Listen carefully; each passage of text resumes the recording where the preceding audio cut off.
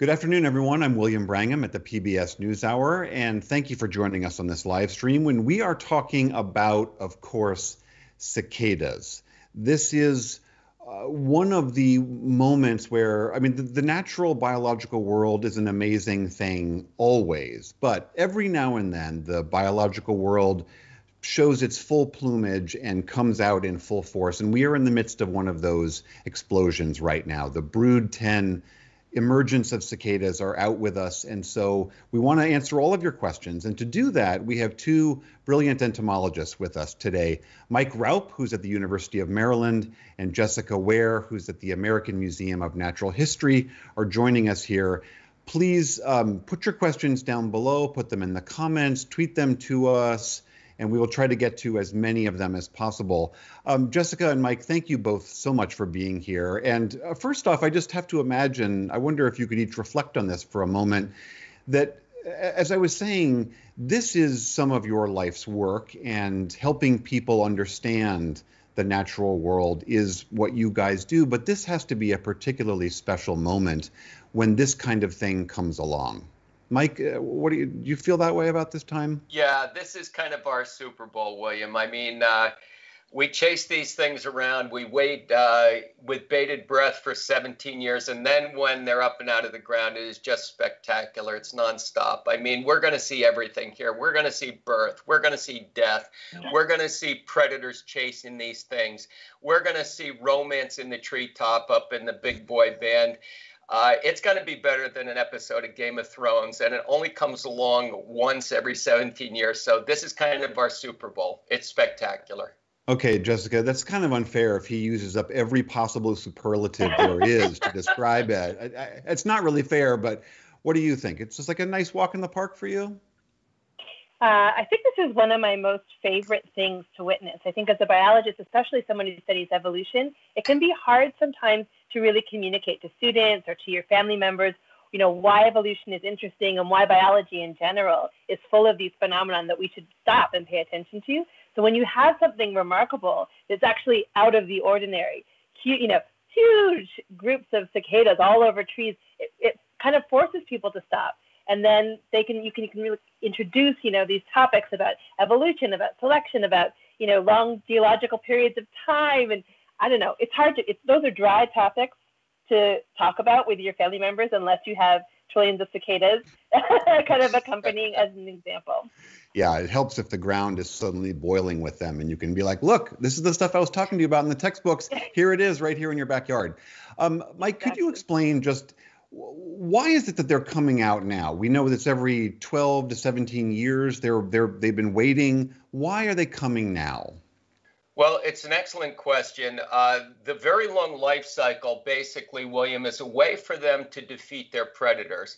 By being underground for 13 or 17 years, there simply is no bird, there's no small mammal, there's no reptile, there's no amphibian that can track you in time. So the long life cycle basically defeats the predator tracking.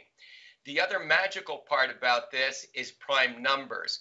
Prime numbers ensures because they're only divisible by themselves and one, it ensures that everybody emerges lockstep because they've got one of the craziest strategies of, for survival of any creature on the planet. It's called predator satiation you emerge massively, synchronously, in such great numbers that you fill the belly of every predator that wants to eat you, and there's still enough left over to perpetuate the three species.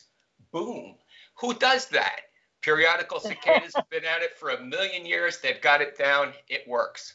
So, so Jessica, the, the point being that they just throw so many of them out there in the natural world. I mean, my dog is, I know, one of the ones that is thrilled to have this emergence. She loves to chomp on them, but but Mike is saying that the the, the predators out there who might be waiting and hoping for these guys to emerge simply will get full, and that they can't.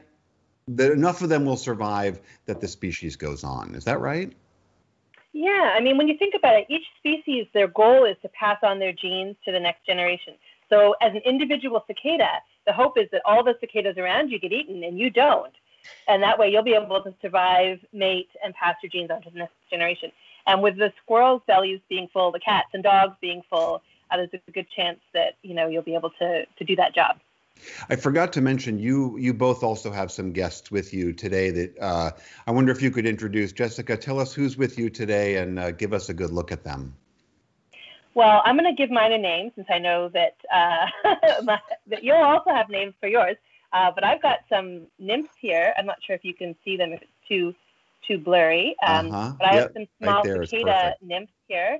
Um, these are these are ones that have have expired already. Um, but these this is insect that I'm holding is 17 years old, which is kind of remarkable. I think when we think of juvenile insects, we think of them as being very young. For some reason in my mind, I picture them being two months old perpetually, no matter what insect it is that I hold. But this is a 17 year old insect that I'm holding uh, that I collected from the ground um, near my home in Princeton. Fantastic. This is the thing that would crawl up. It's been living underground for 17 years. It would crawl up and then, um, you know, shed this larval skin, shed this nymphal skin uh, to the adult stage. And Mike, who have you got there joining you? Well, I've got uh, this one right here is Sally. uh, this one is uh, her sister Lily.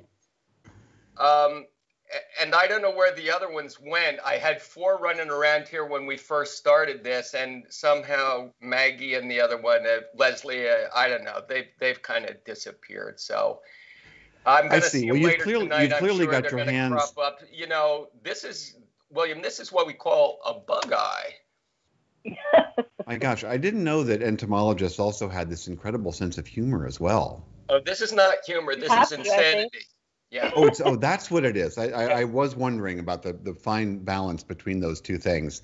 Um, oh. let's get to some of the questions that that are starting to come in. Um, Barbara on Facebook is asking, will their noise at the height of their emergence cause adults to want to stay indoors? Anyone who has lived through one of these emergencies knows that there there there comes this incredible cacophony when they're when they're up in the treetops and and singing out how loud does that get, and is it going to drive some people to run indoors? Mike, you want to take that? Yeah. Uh, well, it's going to reach anywhere from about 80 to 105 decibels. The sound of jet aircraft going by or lawnmower engines. Uh, while some may want to run indoors, I'm going to certainly been running outdoors. They've already started to chorus here in my neighborhood in Columbia, Maryland. So it's otherworldly. Uh, it sounds to me, one species sounds like an alien uh, spaceship landing. That's the septendecim's. The other sounds kind of like a, an electrical transformer shorting out. Those are the cassini's. And the deculas, they're just kind of mellow. So they're more like tree crickets. So, you know, you got to choose your symphony and, and time it right, but go outside and listen. And Jessica, and what is the sound that we are hearing? What is that? That obviously is not just for our enjoyment or terror, depending on your orientation. Who is it, and who's making that noise? What are they saying? What are they signaling? So males are making this noise with this organ called a timbal organ, um, and the noise that, like as you were describing, there's slightly different sounds it's because there's three different species that are comprising this brood. And so, like I mentioned, each species wants to mate and pass its genes on to the next generation. But you want to mate with the same species as yourself. So those those noises that males are making are actually very specific, species-specific noises, species-specific songs. Um, and so females are listening, and they're listening for the quality of male by the quality of the song, but they're also listening to see if the male is the same species. Um, and then if it is, that's when females can, you know, rustle their wings um, and they can actually, you know, do the, the business of, of making the next generation of cicadas. The business, that's what the scientific term for it is. I know. It's official term. Um, uh, but Jessica, one question about that. Does so it's the quality of the male's voice. That's what the females are are cluing in on. I get it that they want to make sure that they're mating with the same species, but is there is there a, a, demonstrable in a way that we can hear and record distinction between what makes a male a prime uh, mating candidate versus one who's got kind of a crummy voice? well, males, I mean, males are going to be calling long and they're going to be calling loud. And so the length of the call, the time of day when they're calling, and the heat of the sun, um, the volume that they're producing, all of those indicate to females that um, a male might be a, a, a good fit for, for a mate. And also, if a male is really good at singing, chances are good that her sons uh, will also be good singers. And so that's the hypothesis is called the sexy sons hypothesis. So you know, females want their sons to be able to, to be to be chosen, right? So they want to pick males that are likely to pass on the, the good singing genes, such as they are, uh, to the to her sons, that her sons will be chosen, and so on and so forth, as far as genes being passed down through generations. It's a good thing that we don't have the same uh, uh, characterization in the human world because I would never have had my three children because my wife thinks I have a terrible singing voice. Um, uh, Mike, uh, Roberta on Facebook is asking, why are we not hearing them yet? I've seen many empty casings on trees yeah. and the ground and others climbing up trees, but no singing just yet. When does when does the concert start? Yeah, Robert, it, it really depends where you are right now. Uh, our cicadas here in Columbia, Maryland, started coming out in force about mm, about four or five days ago. Uh, and really, the period of time from when they are able to emerge from that shell, it t- will take them anywhere from about six to 10 days before their exoskeleton is actually hard enough for them to be able to create those volumes for the wing muscles that attach to that rigid exoskeleton to allow them to fly to the treetops to get eyeball to eyeball. So during this period, we call it the teneral period those cicadas are actually becoming mature. The exoskeleton's hardening. The, the timbal organ and the tympana, the ear that cicadas listen with, is actually maturing and becoming functional. So it's going to take you, I would say, about uh, a week to 10 days. So once you start to see shells underneath your trees, a week to 10 days, and with temperatures clocking in here now in the 80s this week, I think uh, a week or 10 days later, you're going to hear that uh, cacophony up in the treetops.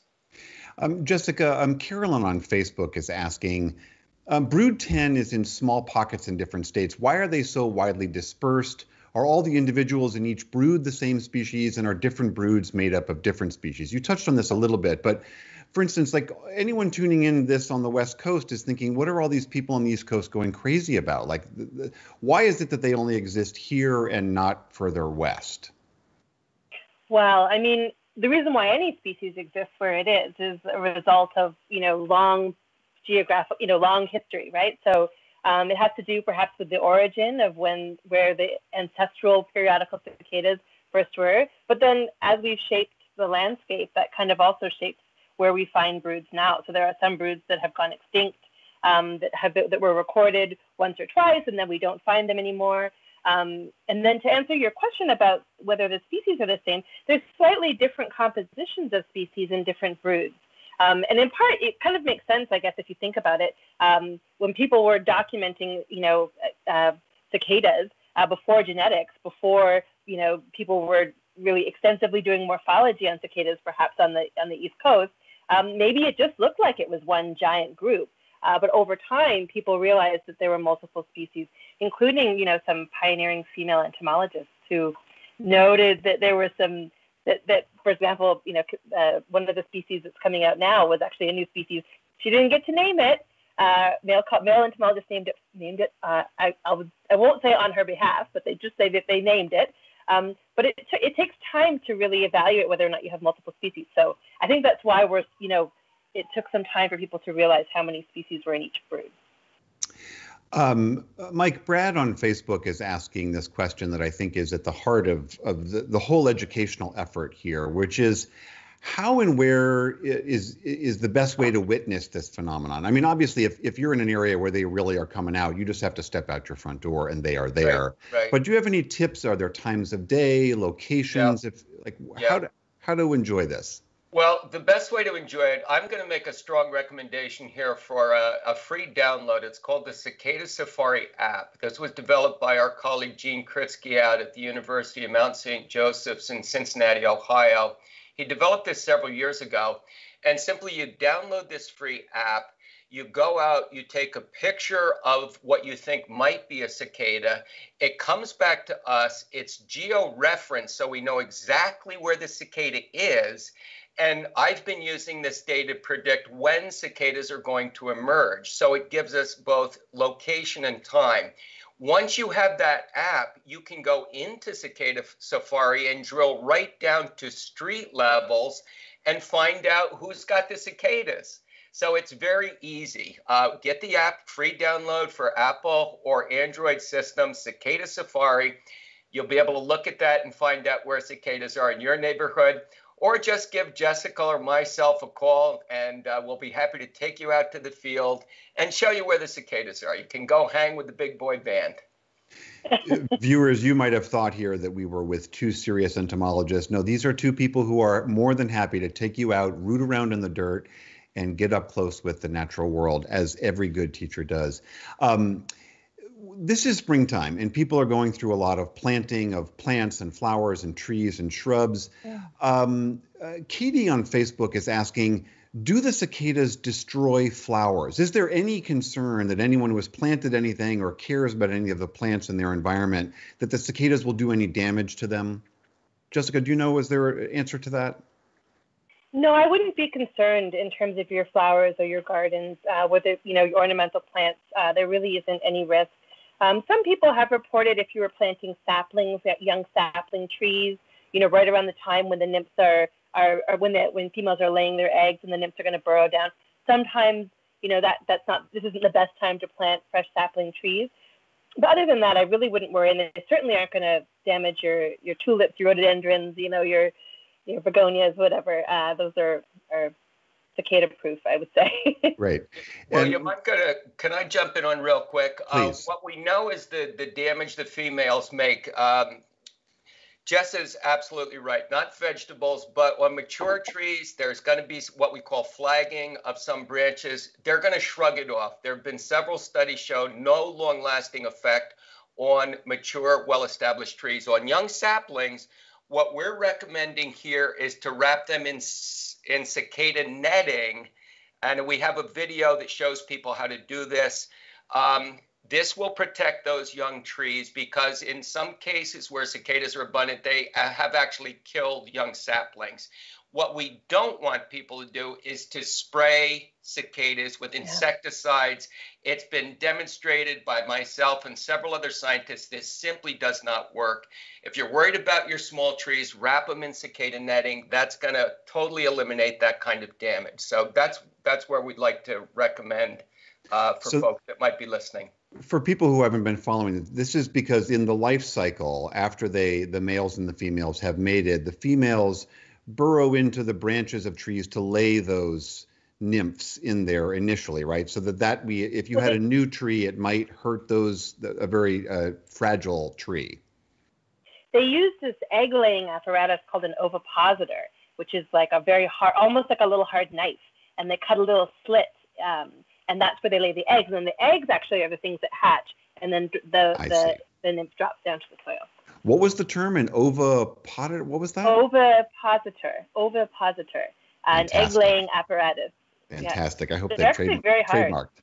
Um, speaking of harms, we have to address this the the fear that some people have of creepy crawlies. In fact, our very own beloved NewsHour anchor Judy Woodruff indicated after a story where we talked to you, Mike, uh, a month or so ago she posited, well, what if they were to all get together? Couldn't they, with their wings and size, carry a human off? I mean, she was only joking, but I think she was betraying a little bit of the concern that some yeah. people have that, oh my God, this is a horror movie. This is yeah. scary to me. Yeah. Disabuse us of any fears we might have about this.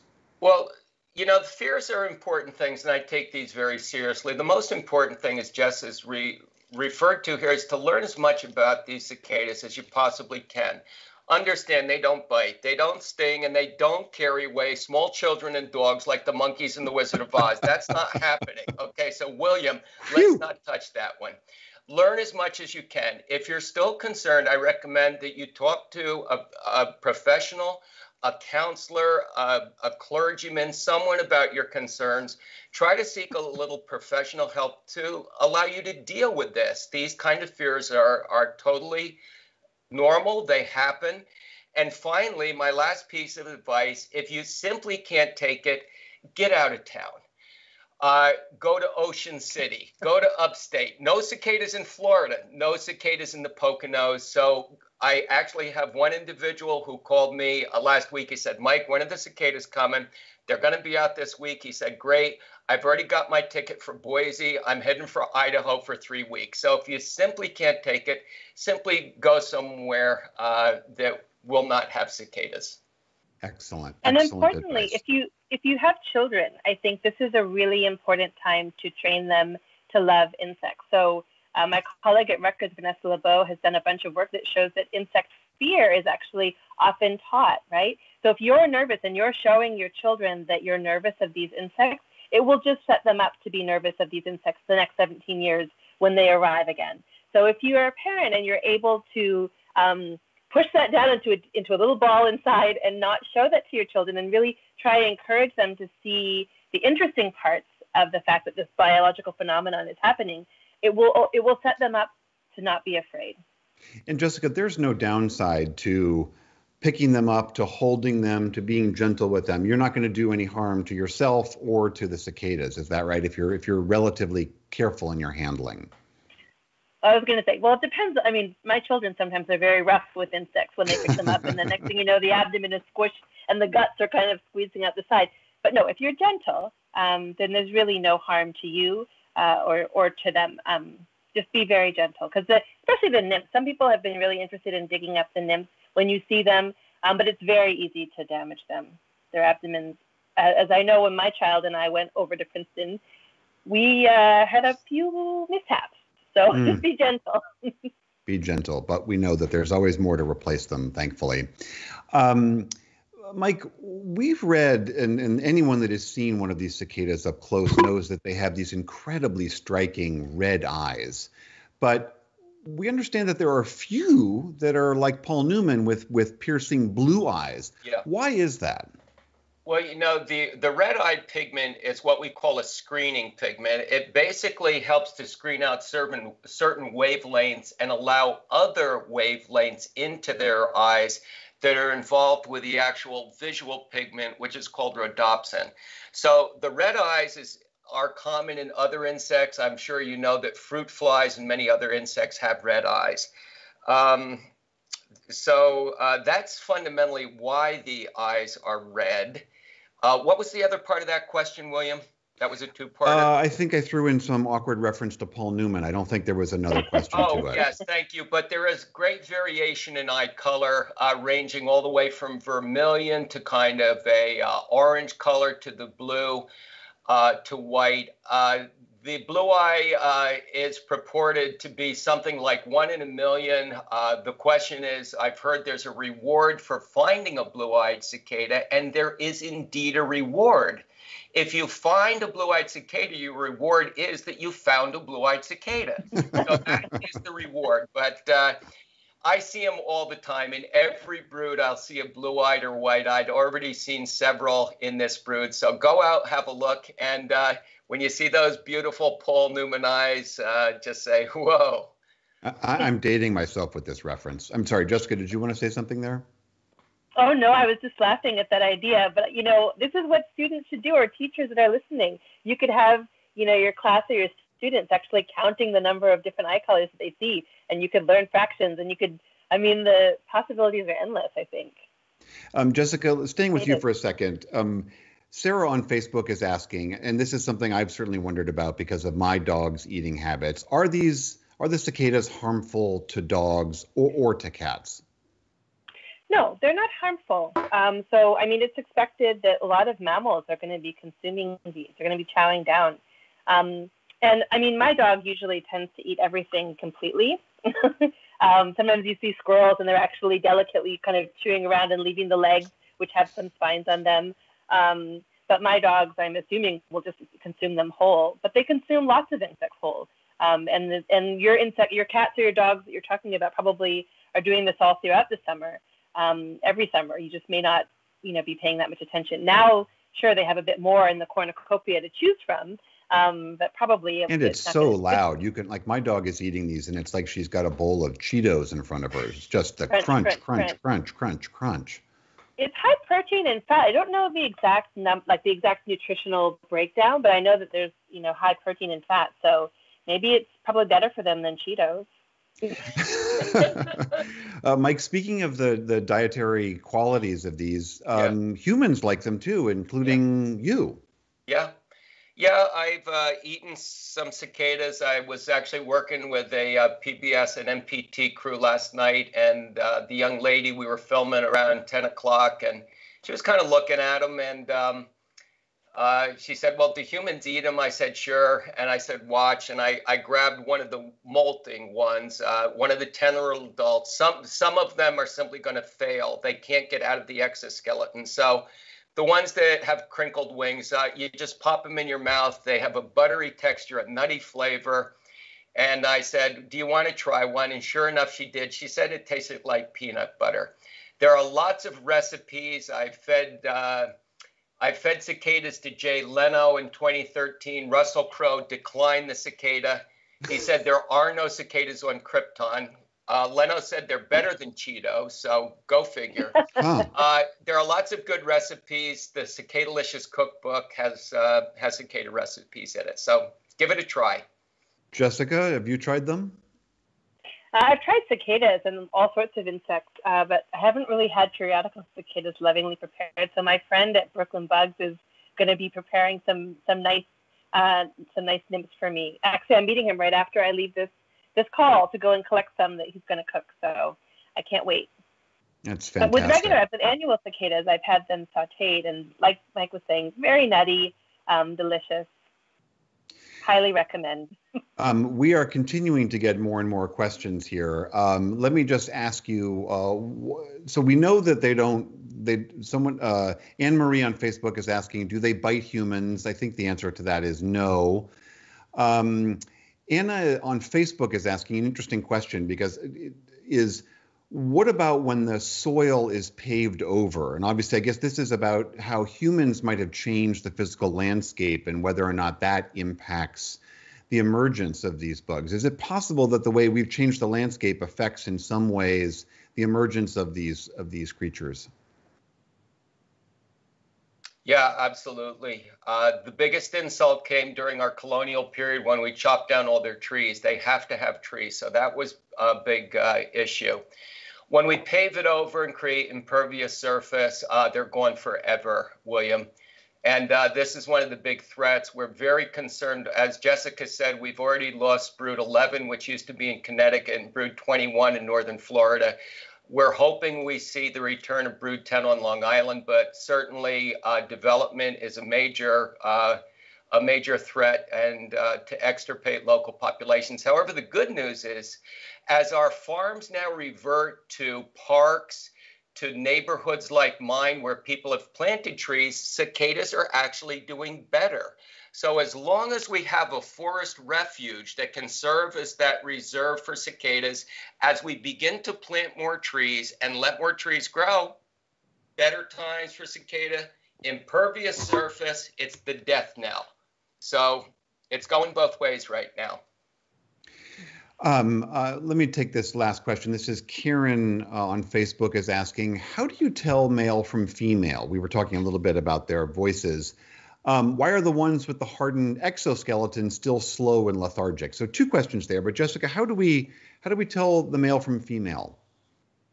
Well, one of the ways that's that's pretty easy is the structure we talked about before, the egg laying apparatus, the ovipositor, which looks almost like a like a a dark uh, colored, it's called sclerotize. So it's a hardened structure at the tip of the abdomen, almost kind of like a ski slope or something like that. I always think it looks like a ski jump. Um, uh, and that is what females have, so that you know that you have a female. But then you could also look for the tymbal organ in males, which is the organ that's used to make sound, which almost looks like a little washboard.